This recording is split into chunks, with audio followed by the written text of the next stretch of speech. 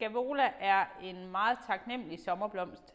Den står med de smukke blomster fra maj og helt ind til frost. Den laver en overhængende vækst, enten ned over altankasser eller krukker. Den findes også i ampler, som her, og ellers kan du selv plante de små potter i en ampel, du har derhjemme. Fjerblomst den kan tåle at tørre lidt ud, så den er meget nem at have med at gøre. Og så skal den ikke pilles en hel masse for at holde sig pæn hele sommeren.